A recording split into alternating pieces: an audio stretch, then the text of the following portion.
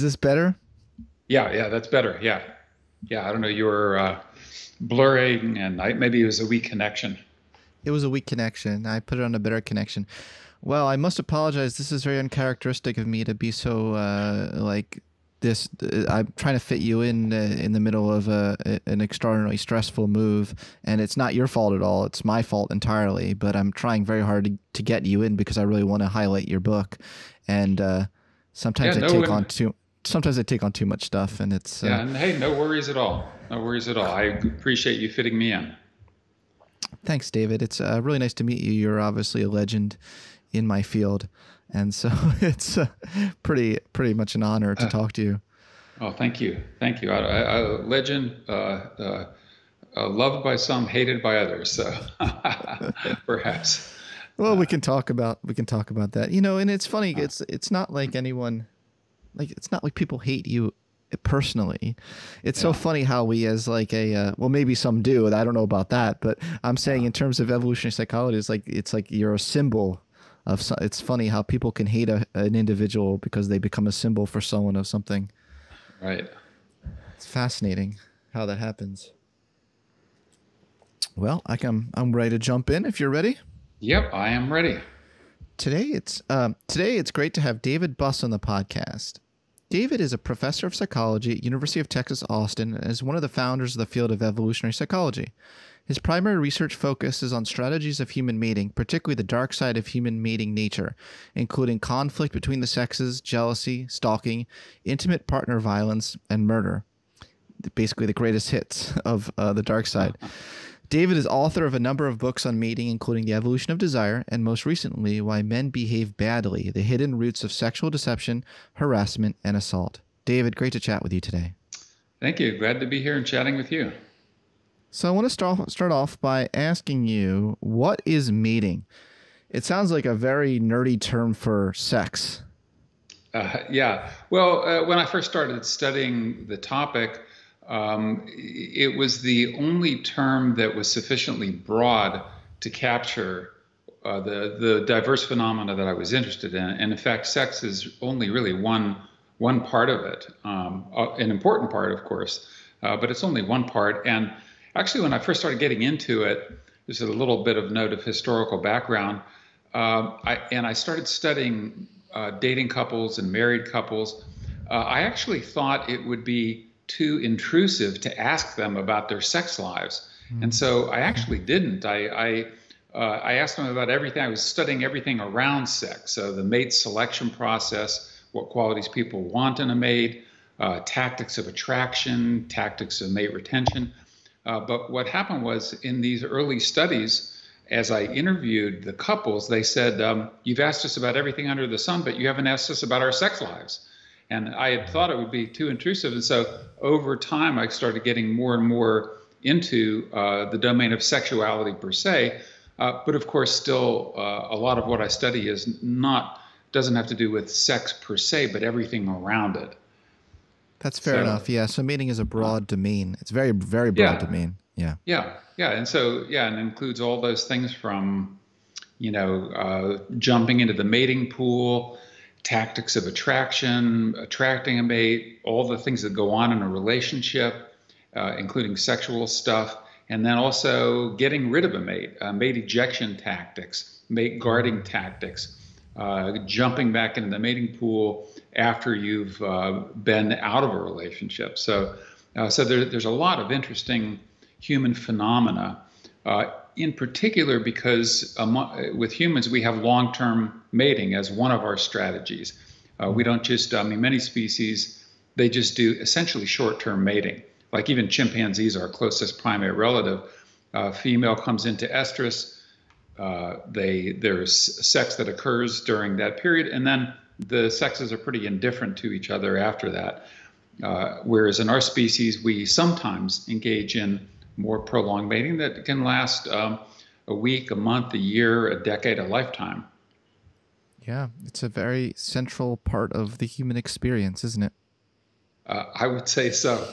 I would say, yeah. I, in that sense, I lucked out uh, by picking this topic. And even after many years of studying these different aspects of mating, I thought, you know, I really want to branch out and study other things. And so I started studying homicide, why people mm. kill other people.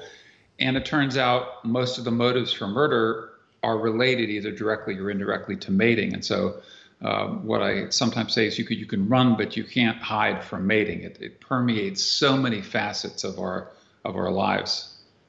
Yeah, for good and bad. Yeah. So, uh, why, you know, why did you go into the field of evolutionary psychology, or even you know, you were one of the founders of it? Like, take me back to the uh, the years preceding evolutionary psychology. What were you interested in, and how did that morph into this new field? Well, well, that's that's that's a big question. So I'll have to give you a short answer. Uh, give me a uh, short uh, to, answer. Yeah. See that? Yeah. Yeah. Uh, there, when I first got into the field of psychology, there was no evolutionary psychology, as you as you just mentioned. Um, but what I was interested in was was a solid theory of human nature. That is, you know, what what motivates people? What gets people out of bed in the morning? What makes people tick? Why do they strive toward the goals toward which they strive. Um, and so I got into the field of personality psychology, which I thought was the closest to, you know, developing or attempting to develop grand theories of human nature, uh, which they did. Uh, but when I got into that, what I realized is that they uh, so different theories made certain intuitive had certain intuitive appeal to them, or certain facets did. You know, Rogers uh, Freud, yeah. uh, Jung, Maslow, etc., uh, but that they all lacked a solid scientific foundation. That is, if you ask the question, well, why should we go with this theorist versus that theorist?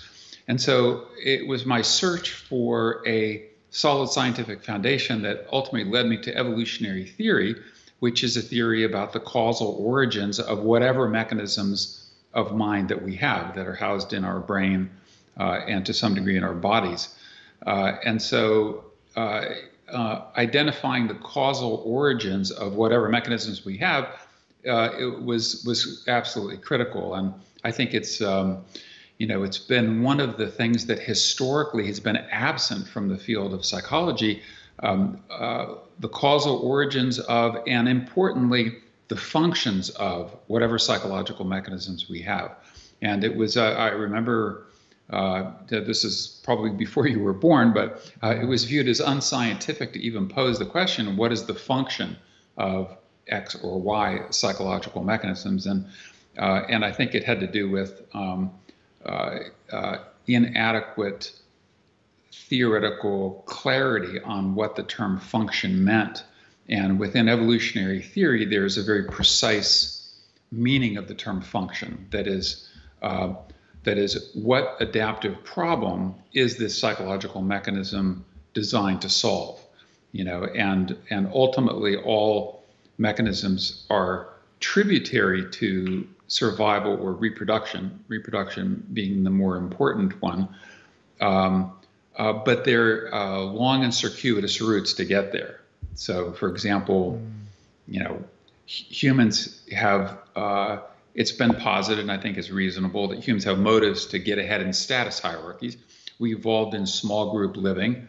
Uh, all groups contain status hierarchies. Position in the status hierarchy is uh, linked to access to reproductively relevant resources. And so it's reasonable that humans would have a motivation to uh, get ahead, to maintain their position, to fight off rivals who are vying for the same position and so forth. Uh, but uh, you could say, well, what does that have to do with survival and reproduction? Well, as it turns out, that getting ahead in status hierarchy hierarchies does lead to uh, preferential access to more desirable mates uh, and to more mates if you if you have them, and and even in terms of survival, uh, like in the Ache of Paraguay, for example, a small hunter-gatherer group that Kim Hill has studied extensively, the um, people in the group give better health care to the children of the high status males. So as they pick the thorns out of their feet, they are very solicitous of, and so even in terms of uh, survival, status translates into uh, into greater survival. So the key point that I was making here is that an evolu- evolutionary theory provides a precise uh, definition of what we mean when we say is this functional. And and just to make one last point on this, I realize I'm rambling a little bit. No, it's um, great. Is, is is that in the field of psychology, Scott? As I as I think you're probably aware, the term function or adaptive is used. It, has been used and is used very loosely in the field. So if you read like I don't know social psychology, the it's adaptive to do X, or it's adaptive to have high self-esteem, uh, or it's uh, functional or dysfunctional. And really, what many of these are are kind of in informal, intuitive appeals to what people feel is bad, rather than a precise, clear definition of what we mean by adaptive uh, or what we mean by the evolved proper function from an evolutionary perspective. So your point is very well taken. Um, a lot of, uh, well, some evolutionary biologists, as well as others, have criticized the field of evolutionary psychology as not being up to the rigorous standards of evolutionary biology. For instance, um, some have criticized um, the uh, the they call it just so stories. What I wanted to ask you is what are what are some criticisms of the field of evolutionary psychology that you think the critics get right, and and which ones do you think they they really get wrong? Um, well, I think they get most of them wrong. Uh, so so, uh, but uh, what I would say is uh, like any like any discipline. Um, there are good practitioners and bad practitioners. There's the whole range of quality of um, scientific research done in the field. And uh, is there bad work in evolutionary psychology? Absolutely. Uh, is there good work? Absolutely. Is there good and bad work in cognitive psychology and cognitive science and social psychology? Yeah, there you see the whole spectrum there, and and I think evolutionary psychology is no different in that respect. Um, uh, the field of evolutionary psychology. Uh, it's kind of ironic that you mentioned evolutionary biologists uh, many practitioners of evolutionary psychology, indeed many of the founders, are evolutionary biologists. Mm-hmm. So uh, the first uh, president of the Human Behavior and Evolution Society was uh, W.D. Hamilton, founder of inclusive fitness theory, uh, one of the most important, if not the most important, evolutionary biologists of the last of the of the 20th century. Mm-hmm.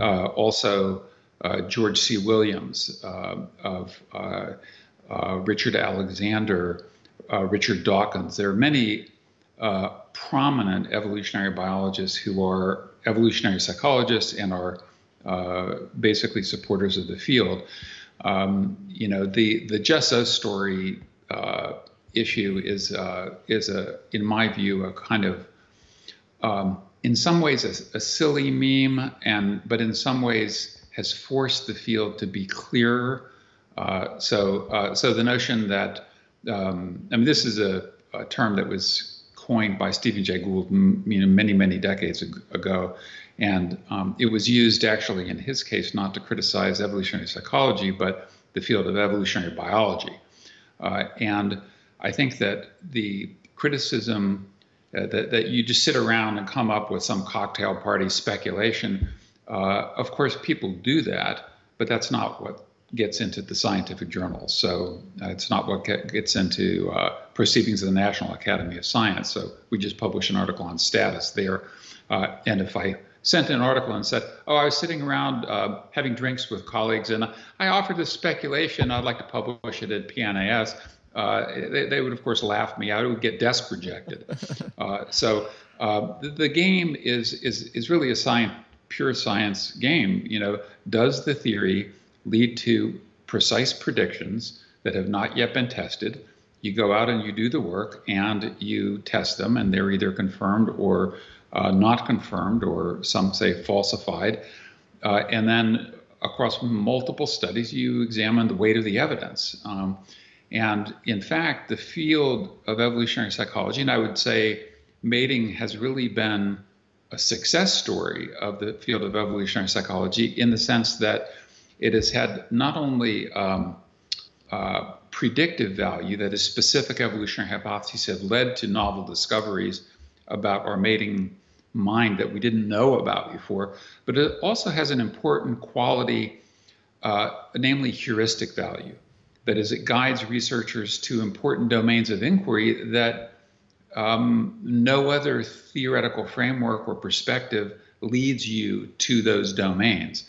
And so it's uncovered things like the importance of um, genetic relatedness on altruism and helping behavior. It's led to the discovery of um, uh, just uh, uh, why women engage in short-term mating.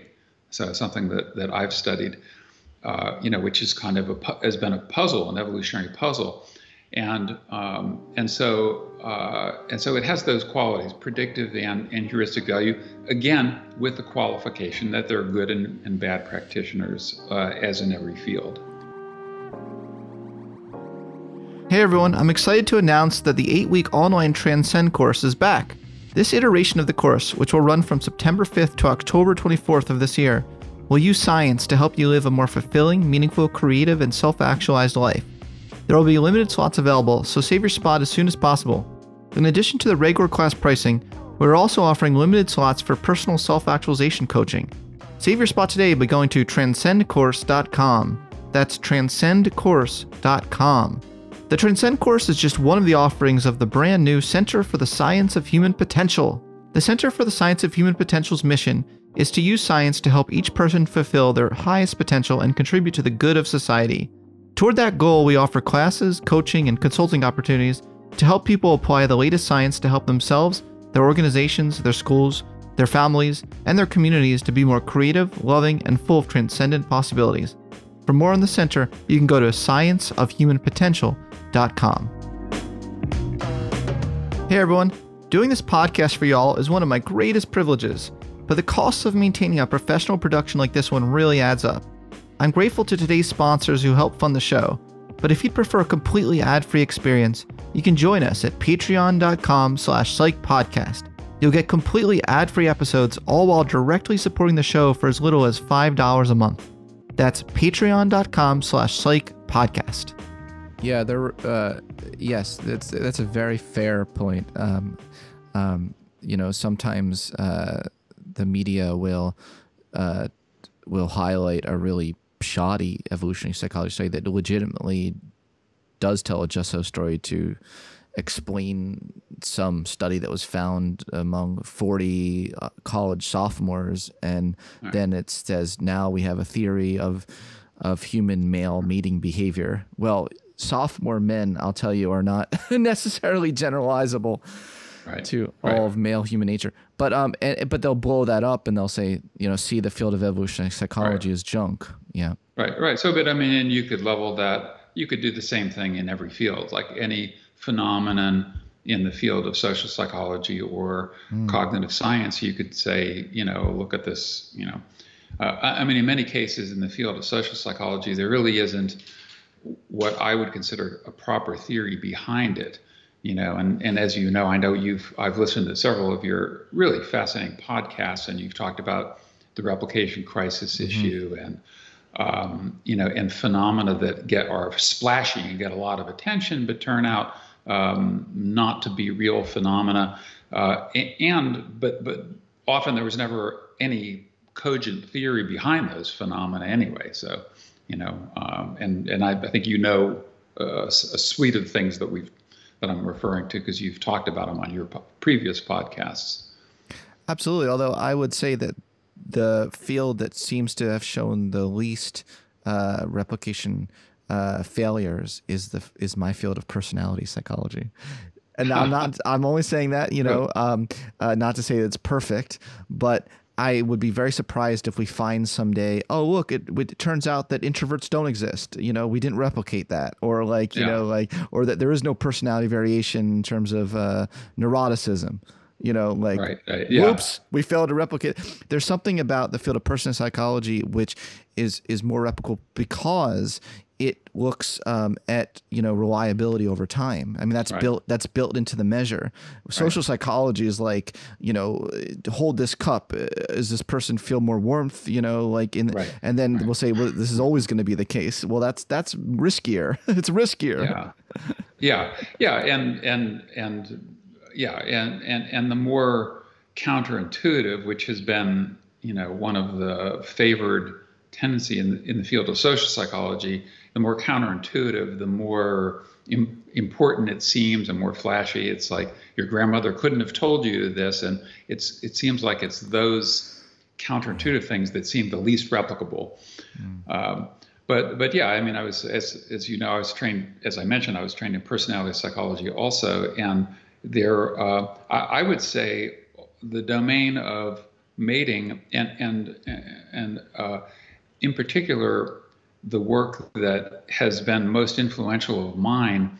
I've been very happy with how replicable it is. So it is even mm-hmm. people who don't like the the theory and who don't like, say, the discovery of sex differences, they're still able to replicate the the uh, results in their laboratories. And so, um, sex differences in mate preferences, uh, sexual jealousy, predictors of mate retention tactics, uh, even some recent stuff. So there there are uh, there, there's a group of evolutionary psychologists that ha- have devoted their labs to replicating and uh, phenomena, and, and in some cases they're not replicable. Uh, but um, but I've been very pleasantly surprised that the findings coming out of my lab uh, are. So uh, you know, it's that's, and I mean it's something I train my students on. I, I don't know if you train your students on, on this, but is like you don't want to you don't want to go for the short-term game, you know, because mm-hmm. ultimately if you do some study and the turn, you know, so so what I've always done I was trained at Berkeley, which was very much of an empirical tradition where that was theory didn't matter at all. What you wanted was solid empirical findings. And so and so that was kind of core to my training. And I want to do enough studies so that I am confident of the results of those studies before I publish. You know, and that's why like when I one of my most well-known studies, the 37 culture study, I wanted to do it in as many cultures as I possibly could. I didn't want to do it on 40 college sophomores, um, you know, because I knew no one would believe it. Uh, yeah. And I, I wanted to, to, assure that it was solid in my mind uh, before putting it out there in the public domain. Yeah, yeah, and uh, when I look at that research, also sometimes I, uh, I look at David Schmitt's research, um, yeah. and I look and see just the uh, the broad, expansive nature of it and the and, and the attempt to replicate it. Uh, maybe uh, evolutionary psychologists are held to a higher standard sometimes unfairly, perhaps, or maybe fairly, uh, because the stakes might be higher in terms of the topics that are studied and the implications of them. I don't know, but it does seem like sometimes, you know, it's like you can you can do a study where you replicate something in like virtually every culture on the earth and basically almost every human and then people like that's a just so story. you know, right, it's like, right, what else right. do you want from us? Are you doing that? Anyway, I'm being a little bit cheeky, but do you see my point? Yeah, yeah, no, I, I, I absolutely do see your point. I mean, I'm perfectly fine with evolutionary psychology being held to a higher standard. Mm. Um, I mean, I think all fields should be held to high standards, but I'm perfectly fine with that. And I think that uh, partly as a result of the criticism that is generated, it has forced people to uh, adhere to a higher standard, at least in in, in many cases. So uh, so so I'm I'm quite comfortable with that. Mm-hmm. Uh, the other sort of related thing uh, is that sometimes it, it's not just the theory. Sometimes people don't like the findings, uh, right. and so uh, for and, and and I don't either. You know, so for example, the you know the fact that men tend to prioritize physical appearance and physical attractiveness uh, in in mating more than women do, although women do as well, and that women prioritize resource acquisition abilities. Um, I don't necessarily like that finding. I don't like the finding that that there are sex differences in desire for sexual variety, uh, which actually gets us into the the, the new book. Mm-hmm. Um, I think it's it would be nice if the sexes were identical on average in their desire for sexual variety, how many partners you want, uh, amount of investment prior to sex, et cetera. Uh, so the findings coming out are not necessarily findings that I like, eh, which is sometimes what people think. They think that if you find something that somehow you think that it, hmm. you're endorsing it or you think it's a good thing or morally um, respectable um, or some kind of view that you're trying to promulgate, um, which is which is simply not the case. I mean, if that's the case, I'm in trouble because, I mean, I've studied uh, sexual harassment, sexual coercion, uh, murder, stalking, and everything, if I thought these things were good, mm. um, well, I never would have written the book. I mean, I yeah, uh, yeah. studied these things because I, I, precisely the opposite. I think that they're uh, they're, they're ills. Sexual violence toward women, broadly speaking, uh, is is a, uh, a horrible problem that's worldwide. I actually view it as the most widespread human rights violation, period, um, you know, in the world in the sense that it affects every, women in every uh, ethnic group, every culture, every political system, in every culture around the world. Affects half the population, and of course, it affects more than half the population because it affects um, all those uh, people who care about potential victims of sexual violence, which are the, the mothers, brothers, fathers, uh, uncles, etc. Um, and it also affects even the women who are not, who manage to avoid any kind of sexual violence, which from an evolutionary perspective is bypassing female choice. Um, that um, that it affects women because they have to engage in defensive behavior to avoid becoming a victim. And so it's very costly, even for those women who have not personally been victimized. So, um, anyway, that's, that's really sexual violence toward women is the broad umbrella uh, of the topics that I talk about in, in my new book, uh, When Men Behave Badly, because things like uh, sexual deception, in the dating market, intimate partner violence, uh, stalking, uh, sexual harassment, sexual assault. All these things are things that uh, try to bypass female choice, strategies that male use to try to bypass female choice. And so they all fall under this broad rubric of sexual violence toward women. Yeah. Um, I was going to go uh, piecemeal through a lot of what you just said. So, uh, but that was a good re- general review of your of the whole book. Um, yeah, you do. No, you you start off and you make it very clear in the introduction of your book. You said, you, uh, "My hope is that this knowledge will benefit everyone who has suffered from sexual conflict and who cares about its victims, and that it will ultimately help us to reduce the occurrence of sexual conflict and heal the harm it creates." Um, was that I mean, I don't, I don't think that was the goal. Like when you originally went in the field. I mean, I feel like you were just interested in the science of this stuff and and understanding the truth. I uh, maybe it's somewhere along the line it start you started to get more interested in uh, in, in, in in in in the practical aspect of it.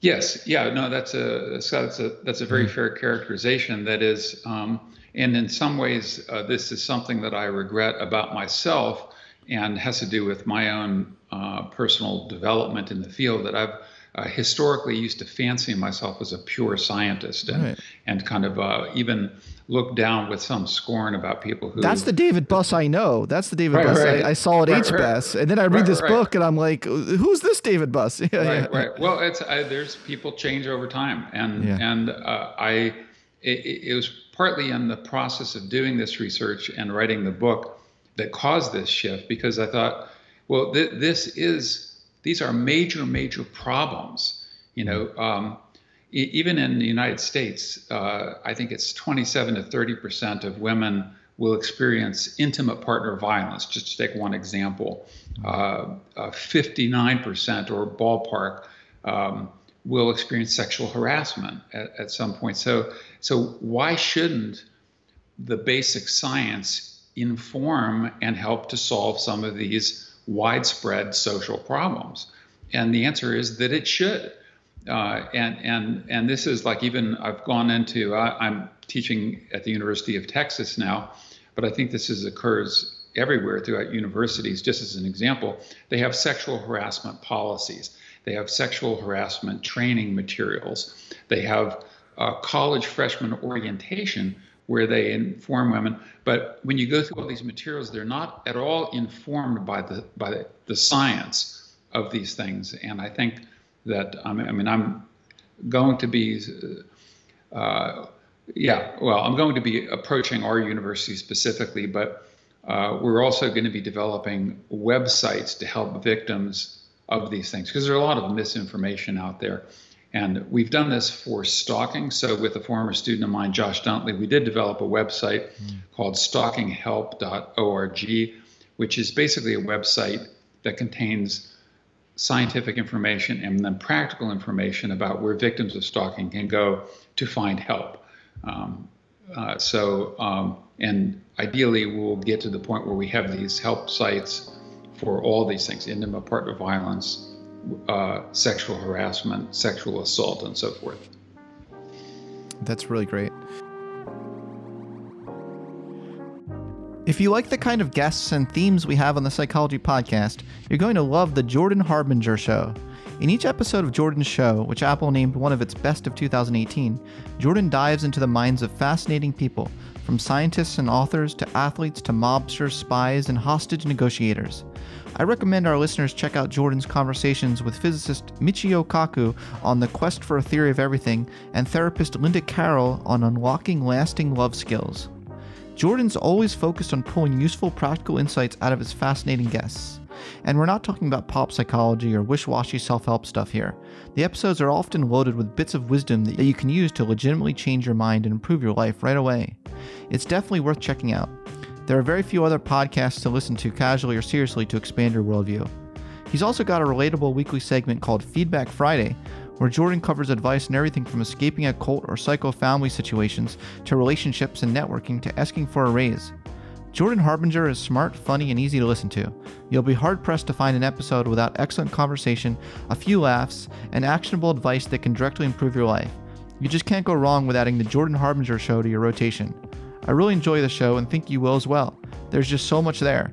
Check out jordanharbinger.com slash start for some episode recommendations or search for The Jordan Harbinger Show. That's H-A-R-B as in boy, I-N as in Nancy, G-E-R on Apple Podcasts, Spotify, or wherever you listen to podcasts. Um, so why are women and men so, so seemingly at odds with each other right now in this cultural moment? Um, it, will, and as you would probably argue throughout the course of human evolution, but it, but a lot of uh, issues that maybe have uh, been swept under the rug are coming into light more now. I would say in our cultural moment than ever before. Um, what do you think is the explanation um, of this? And uh, you know, what are the standard explanations? And then how do you think like an evolutionary approach can can offer additional explanation? Yeah, well, so uh, well, good questions, big questions. yeah. So, uh, so to deal with them in the order in which you ask them, if I can remember, uh, so sexual conflict originated with the origin of uh, sexual reproduction itself. Mm. So we're talking about somewhere between a billion and two billion years ago. So sexual reproduction itself, once you have two sexes evolving and sex being defined by evolutionary biologists as the uh, according to the size of the gametes. So the sex cells, that males are defined as the ones with the small gametes, females with the large nutrient-rich gametes. In the human case, sperm and egg. Uh, and uh, and so once you have this uh, sexual reproduction, uh, it, it's a, uh, uh, what's optimal for the male will in certain conditions differ from what's optimal for the female. And so there's what I call this zone of conflict where you have adaptations in one sex designed to influence or manipulate the other to be closer to its optimum, and then counter adaptations in the other sex to resist those manipulations. And, and very much like predators and prey, which is a between species co-evolutionary arms race, what conflict between the sexes is, it results in what's called sexually antagonistic coevolution, which is very much analogous to the predator and prey coevolution, where it just, and it's been happening, as I said, for let's say conservatively a billion years, and then, and then of course, over the entire course of human evolutionary history. And so, to take one example, uh, it is often the case because females biologically invest more, starting with the the um, the nutrient rich egg, but also with the internal female fertilization, the nine month pregnancy, lactation, etc., because females invest uh, obligatorily so much more than males to produce a single child. Um, it's often in female interest to be to be very uh, choosy and discriminating and discerning about who they have sex with and who they mate with, and So, whereas from a male perspective, because of that minimum minimum lower obligatory investment, it's sometimes beneficial to initiate sex sooner, more frequently, et cetera, than is in the female's interest. And so you have this, in this example, this uh, zone of conflict where, um, uh, and it's a zone of conflict that, that results in a lot of sexual conflict. So, uh, so now your other question was, well, why, why now? From a cultural standpoint, mm-hmm. why is, why are these things uh, so prominent now? And I think that, uh, I, I mean, I don't have a definitive answer for that. I think they have become prominent at different points in our cultural evolution. So, for example, uh, it is not recently, but uh, several decades ago, that laws got changed to make marital rape rape. So it used to be the case if you go back 30 or so years in the United States, um, rape was defined as rape of someone who was not your spouse. And it was viewed as an incoherent concept, uh, rape of spouse. It doesn't make any sense. And many co- countries in the world today still ha- have that. It, it is literally not rape because the husband is entitled by law to sexual access to the wife's body whenever he wants, in whatever way he wants. Uh, so, but now there's, there's, so there was a cultural shift so that in every state in the United States, marital rape is a crime and it's and it is against the law.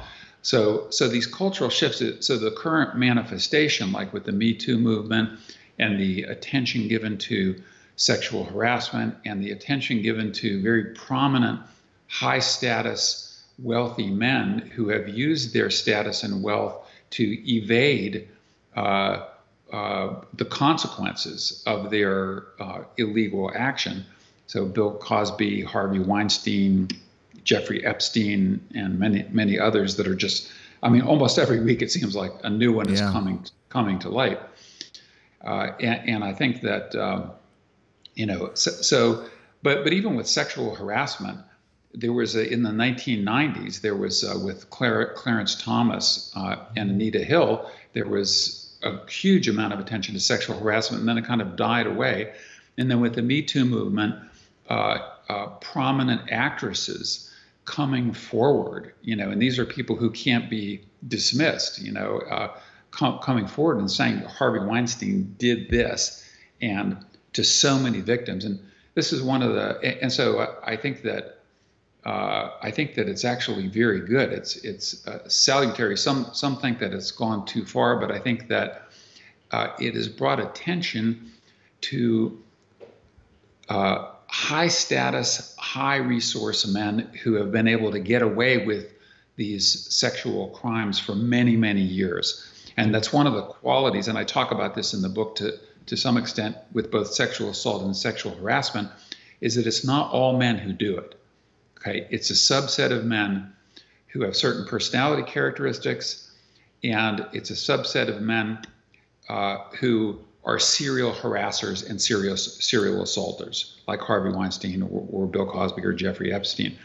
Uh, and women know this, but it it hasn't received enough scientific attention. That is, that women in the workplace, a new woman will come in, and other women will say, "Oh, just be careful not to be alone with this guy because he mm. tends to have wandering hands or, or whatever. Uh, and so it kind of highlights the fact that it, it is not all men. And what you have is a small number of men who are committing a large number of acts of sexual harassment and sexual assault. And, and that's why it's especially important to identify those men, to identify what characteristics they have, personality and mating strategy, and also the circumstances in which they're able to uh, commit these commit these crimes versus the circumstances which um, inhibit them from doing so. And, and that's one of the things that I has also been somewhat of a shift in my thinking in the book is trying more fully to integrate individual differences uh, combined with social circumstances, combined with evolved proclivities in males all to all to bear into an integrated framework to understand these uh, forms of sexual violence, and and and that hasn't been done uh, in the past. at least not to a great degree. That is, that is the field of evolutionary psychology, and this has been my one of my criticisms coming out of the of an individual difference tradition, has historically ignored individual differences and focused pretty much exclusively on species typical characteristics. And that's fine, but we have to recognize how profound and important these individual differences are. Well, I co- you're you're preaching to the choir. I completely agree. Uh, I'm a, I'm an individual differences researcher, and uh, that's what I try to bring to the table of evolutionary psychology in whatever yeah. contribution I made to the field. Um, I hope cool. uh, it, you know it, it uh, is the evolution. It's the um, individual differences aspect. Um, for instance, I've published papers on the evolution of intelligence. You know, why did why did the G factor evolve? You know, these kinds of questions. Um, okay, so tell me about the bad boy paradox because I, I think our listeners you know that's what they really want to know they're like why they're okay all this uh, mumbo jumbo why do i keep falling for the bad boy you know um, can you talk about some of the research on the dark triad, which is an area I've uh, studied as well? And actually, I just, by the way, I just recently uh, proposed there's a light triad, so maybe we should talk about that later. But yes. Uh, talk a bit about, and I think light triad people can be attractive too. But can you can you talk a little bit about why the dark triad is so attractive? Yeah. So, well, for, first, maybe for listeners who might not know, briefly mention what the dark triad uh, are. So, dark triad. Um, uh, is um, narcissism, Machiavellianism, and psychopathy are, are the three that have been uh, called the dark triad. With narcissism, uh, just a quick hallmark of um, a sense of entitlement, including sexual entitlement, um, grandiosity, uh, feelings that you are so special that the rules don't apply to you, etc. Uh, psychopathy, one of the hallmarks is lack of empathy. So most humans, most of us have a empathy circuit where, you know, if someone gets harmed, if a child falls down, if a dog gets run over by a car or hit by a car, we feel this um, empathy. Um, and, and, whereas uh, those low on psychop- those high on psychopathy don't. Uh, they might laugh if uh, a dog gets hit. Um, and, and so, uh, uh, and, and then Machiavellianism has to do with those who pursue an exploitative social strategy. So these are cheaters, deceivers, uh, viewing view, high Mach people view others as pawns to be used and manipulated like like pawns on a chessboard uh, for their own instrumental gains uh, and very selfish gains. And so, uh, so you have this um, high dark triad, and when you combine it with the dispositional pursuit of a short-term mating strategy, this is a very this is a deadly combination. So these guys who are high on dark triad, high on short-term mating, are most likely to commit, be the serial sexual harassers, serial sexual assaulters, etc. Now, why are some women, I would say some women, not all women, are attracted yeah. to these guys? Uh, first of all, they um, they often play a good game, so they can be very charming. Uh, they often display cues of high status. So they're, um, uh, for example, they they take risks and uh, command the attention of the group, and that's one of the cues that we use to evaluate status is the attention structure. Uh, the high status people tend to be those to whom the most people pay the most attention. And so high dark triad people often command attention. Uh, and then the other is they are often risk taking. Uh, and women are attracted to risk takers, in part because those who take risks uh, engage, uh, we take animals at their own word, so to speak. That is, those who take risks we think can afford to take risks. You know, if you're skydiving or you know motorcycle riding, that, that you that you have the physical and psychological capabilities to successfully engage in these risks without without harm. Um, and so there are many uh, qualities that are attractive. Okay, but these high dark triad guys are disastrous as long-term mates. They might be very exciting for short-term mating, but they're disastrous as long-term mating. They are more likely to cheat on the woman, more likely to uh, dump her, more likely to engage in multiple relationships uh, simultaneously while deceiving each one about, um, you know, who thinks that they're in a monogamous relationship. Uh, and they're very good at seduction and abandonment. So uh, it tends to be younger women who are most attracted to these so called bad boys. Uh, as women experience um, some of the harms associated with being involved in bad boys and mature, uh, they tend to grow out of this being attracted to bad boy phenomenon. So, uh, so experience is sometimes very, very useful, sometimes a, a hard lesson. Mm. Now, you mentioned that, that there exists dark triad women. Uh, yes. but they have there's a different flavor to them. Like I feel like there's a different they use different uh, as you would say mating strategy tactics. Yeah, well, so high dark triad women, uh, one of the tactics they use is they use their sexuality uh, for instrumental gains. So, for example, they might use sex um, to flirt with the boss, or even I, I actually know cases like this sleep with the boss in order to get favorable treatment. I hope you don't promotions. know about that personally. I, I, I, know. I hope you weren't the boss. no, no, no, I'm not. I've never been the boss. But no, uh, but I, I know of cases in academia where uh, I know one case where a woman who was particularly high on the dark triad slept with the chair of the search committee um, and and succeeded and got the job. Uh, so uh, obviously, I won't mention any, any yeah. names uh, involved in this. So they, they use sexuality to get ahead, but they also engage in mate poaching.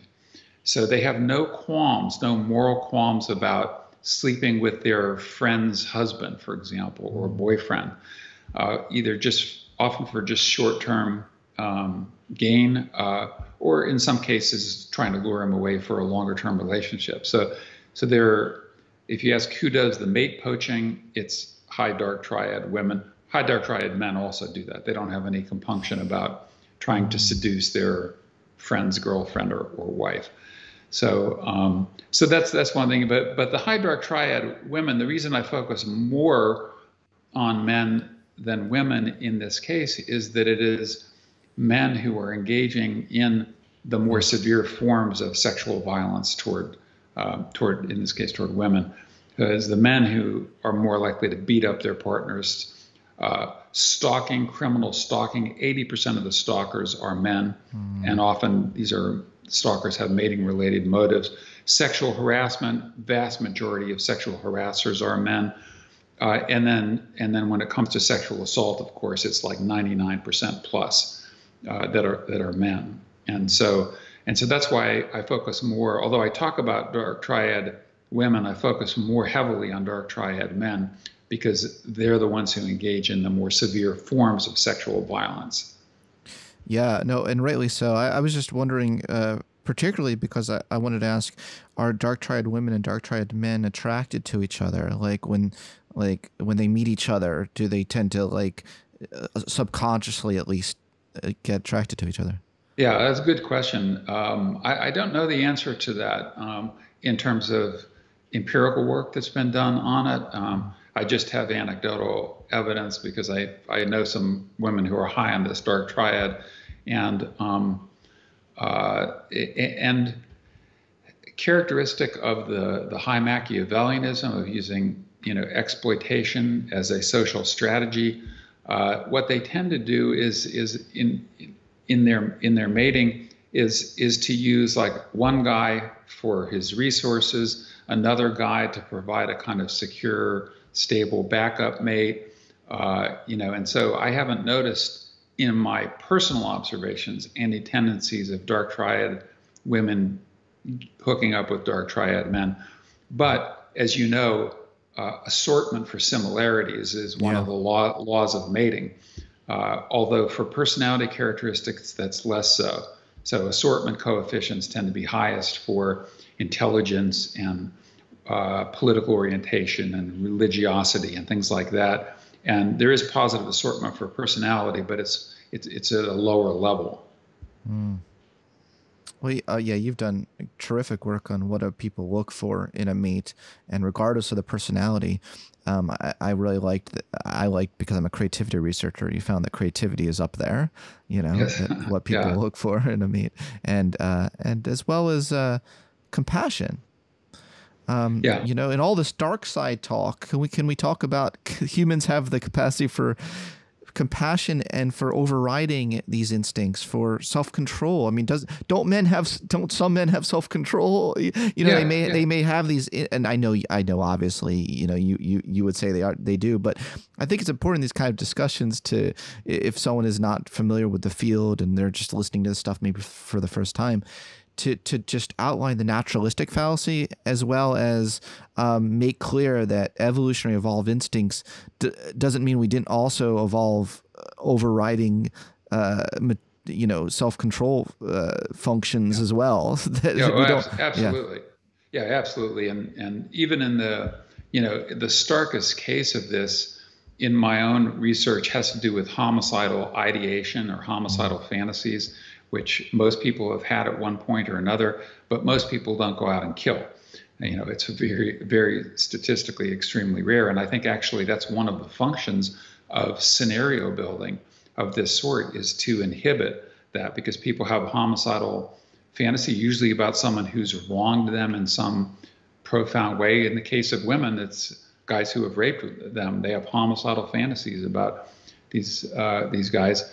Uh, but the scenario building that people do when they experience homicidal ideation all, almost invariably leads to the conclusion that no, this is not a good strategy to pursue. It's not a good way to solve the problem.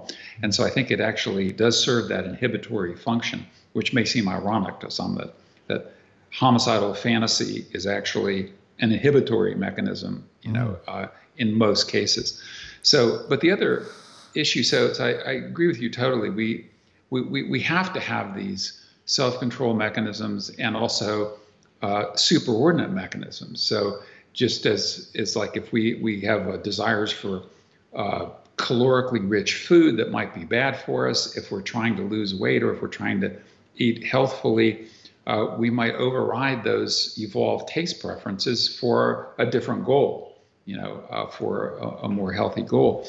And so we we have to uh, we have different underlying desires, goals, and motives at any one point in time. And so we have to uh, sequence that, suppress some, allow you know uh, circumstances to dictate which ones get expressed when, uh, and so forth. But importantly, I think there are profound individual differences in this. And so the like an example, there are some actors, as you know, who have been um, called out for sexual harassment, in some cases sexual assault. But you think like on the LARP uh, light triad issue, like Tom Hanks as an actor. Could you imagine him engaging in this bad behavior? And I think the answer yeah. is no. You would predict he's he's he's he would never do that. You know, he just doesn't uh, likely doesn't have those impulses that need to be inhibited to begin with. Right. So, uh, well, so I think that you never yeah. know what he he probably has yeah. freaky yeah. fantasies. yeah, yeah, yeah. You know, no, I hear I I hear you. I I get your point. Um, I think it's just uh, just a meta comment on the field. Reading your book, there's such a there's a whole lexicon of it's like you a whole different language. You know that you calling these things. You know you've got mate poaching, then you got mate insurance. you got you got. I mean, uh, you know all these you know strategies, tactics. It's it's. I mean, you're so ensconced in it, David. I mean, you you've worked in this field for how many years? These terms and, uh, but like for the general public, like like it's it's really actually getting up to speed on a whole new language. Yeah. Yeah, well, and I and I think that uh, yeah, yeah. Well, thank you for pointing that out. I mean, the, the term mate poaching didn't exist until I, I, think I was the first one who used it mm. uh, back in '94. But um, but the thing is, it requires a new lexicon, a new scientific lexicon, because many of these phenomena have not been studied before. So so even like with a, another, take a slightly different example uh, mate retention. So, in the insect uh, or non human animal mating literature, there's the term mate guarding. So, which is what a lot of male insects do. They mate guard. They try to get the female and guard her, prevent other males. Uh, but when I started studying this, uh, guarding seemed too narrow a term. And so I use the term mate retention because in long term mating, it's not just the physical guarding, that, but it's also things like the lighter things like providing a mate with with uh, resources or benefits or trying to embody uh, do things that that satisfy your mate's desires that are part of mate retention. And these are don't really neatly fall under the narrow category of mate guarding. And so that's why i think a, a novel uh, scientific lexicon is is in many cases warranted here. So. Yeah fair enough um, just to just to close the uh, circle on the uh, bad boy paradox, um, I wrote a book with Glenn Geher called uh, "Mating Intelligence Unleashed," and yeah. uh, and I uh, really looked into that whole literature on bad boys, the evolutionary psychology of bad boys. I have a whole chapter on that. My reading of the of the literature in total, and my own attempt at a synthesis, is that uh, you know women like these uh, tender defenders. You know, um, it's not that they actually like the asshole. It's that the asshole traits sometimes come along for the ride. Um, or not only that, but um, you know they'll like uh, someone who you know is has a very strong personality that can defend them you know that that will stand up for them will protect them you know yeah. um, and uh, uh, and and so it's not it's not exactly that they are attracted to the asshole traits, but right. it's just that some of these kinds of, you know, aspects, uh, these characteristics, um, can very easily turn into assholery behavior. Yes. Yeah. Yeah. Yeah. No, that that's fair enough. And um, yeah, that, I, it's a, it's a very cool book. Uh, I like that whole Thanks. that whole idea of mating intelligence. In fact, uh, uh, I think it was yeah, Glenn um, edited a, a book or uh, this was like there was one that was kind of for more yeah um, mating intelligence with jeffrey yeah. miller yeah and then and then i this is when i was in grad school i reached out to glenn and i said hey you don't know me but i this is one of my first books I, I, I ever wrote. I said, Hey, Glenn, do you want to write a popular book with me about that? Because I loved it. I actually wrote a chapter in that edited book on humor, the role okay. of humor in mate selection. Yeah. I wrote that with Jeffrey Miller. Um, and yeah, and Glenn and I turned it into a popular book afterwards. Yeah. Yeah. Yeah. Yeah. Very cool. Yeah. Uh, yeah. Uh, one, one other thing I just wanted to, to loop back to uh, the topic of in, inhibition yeah. and um, uh, self-control mechanisms. And, and this has to do with one of the, what I think is the, one of the most important sex differences, which is I've mentioned is the desire for sexual variety. So, and, and men just have on average, higher levels of this. They desire a larger number of partners after less time has elapsed and so forth. So men can walk down a city block uh, and spot half a dozen women over the course of just a few minutes and have sexual attraction to the to those women. Now, if all of those desires were expressed in manifest behavior, we would live in a crazy, chaotic, um, anarchic, anarchic, anarchic and violent um, uh, culture, and we, and we don't. And, and, and, in fact, most men inhibit the, even if they're trying to attract a woman for a short-term sexual encounter, they inhibit the the direct expression of their sexual interest for that short-term goal. That is, they often deceptively give off long-term signals they, they give off uh, nice guy signals, high investment signals, high commitment signals, high emotional involvement signals uh, in order to achieve a short-term mating goal. And so, and so even in the service of short-term mating, men often inhibit the expression of their uh, the sexual desires that they have. It's just called acting cool, man. That's it. Yeah, yeah, be cool. Don't be don't be so like you know. Don't come across so needy. What do yeah. you um uh? W- how do you feel about the fact that you have a whole cottage industry of so-called pickup artists who are using your book um, and the main principles of evolutionary psychology to seduce women and sometimes you know trick them? How do you feel about that? Well, well, I, have looked into this and I've I've had conversations with people in that community, in the pickup artist community, and I think there's there's a whole range. Uh, so there are some, like on the what I would say on the better side, that are that are tr- trying to train men uh, just to be better quality men, uh, better quality mates, in order to attract women. And so there's like, and that's you know, moves toward honest courtship and improving your value as a mate. And then at the other end, you have the the sort of um, deceptive, smarmy, underhanded tactics, uh, which which of course I think I find ab- abhorrent. Uh, so. Um, so you, so you have the whole range there, just like you have the range of scientists, you have the whole range of pickup artists. But I, I'm not sure that uh, I mean, I know that they occasionally cite my book. Um, I haven't looked into them enough to know whether they cite it accurately or not. Like so, this whole concept of uh, negging, for example, like that the the way to you know you kind of like try to undermine the woman's self-esteem and uh, as a way of displaying your high status. I, I don't I don't see that as uh, uh, anchored in any way in evolutionary psychology. Yeah, I, I don't know what the evolutionary basis for negging is. Yeah. Yeah. Um, uh, other than a motivation to Machiavellianism, to other than that, you know, yeah. Yeah. Um, you know, I, I, I, did bring up the naturalistic fallacy earlier, but I think it's really, really important for us to define that oh. for people who've never heard of it. Um, it, it kind of, the naturalistic fallacy, like, and understanding that really can quell a lot of criticisms of the field, I think. Yeah. Yeah. So, well, there there are multiple fallacies. There, there's the you know the um, if it exists, then it ought to exist. So the is ought fallacy, uh, which of course is not, um, uh, which is a fallacy because it's like if you, um, and it gets back to an earlier point that we discussed about if you study a phenomenon, that means somehow you endorse it. So the example I use in the book is like if you're a cancer researcher you're trying to study cancer to eliminate it or cure it. Uh, you're not studying it because you think cancer is a great thing and you want to promote it. Uh, and so I think the same is true here.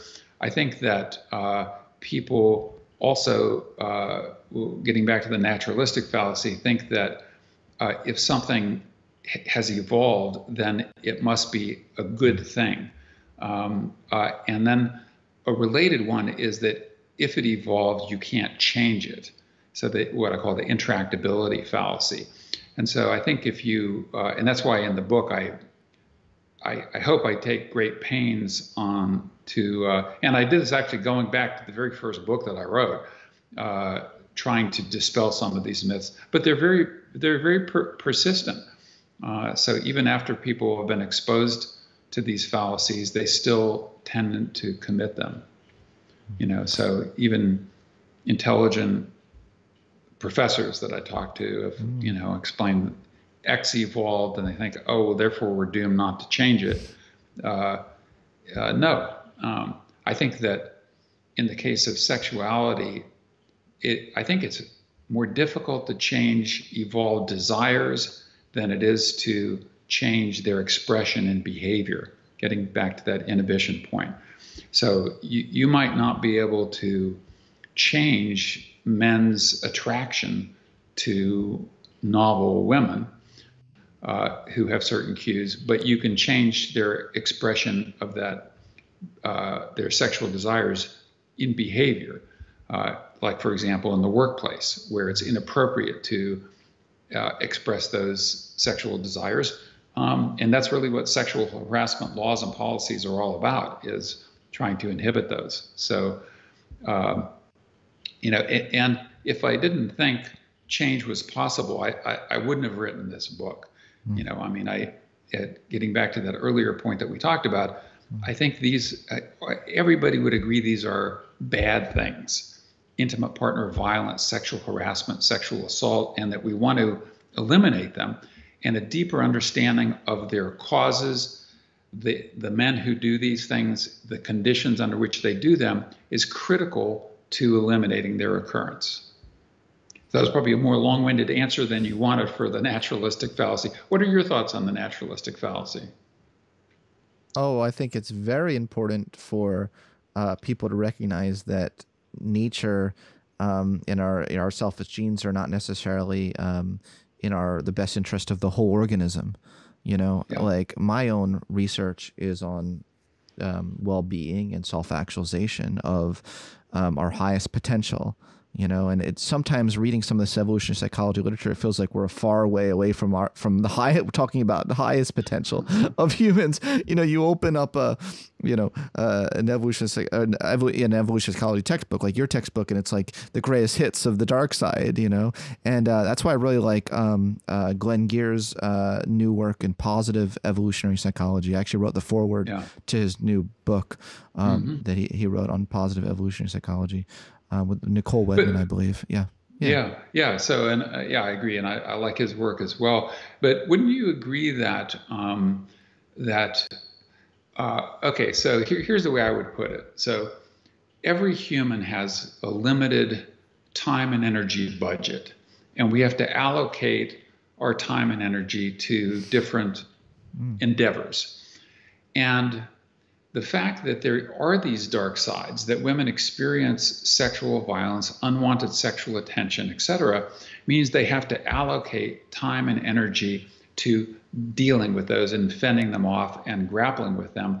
And so eliminating some of those these darker phenomena would free up time and energy to devote to the agree. more pos- positive aspects uh, of, of positive psychology. I completely agree. I mean, that's uh, that's why I um, I think of it in terms of a hierarchy of needs perspective.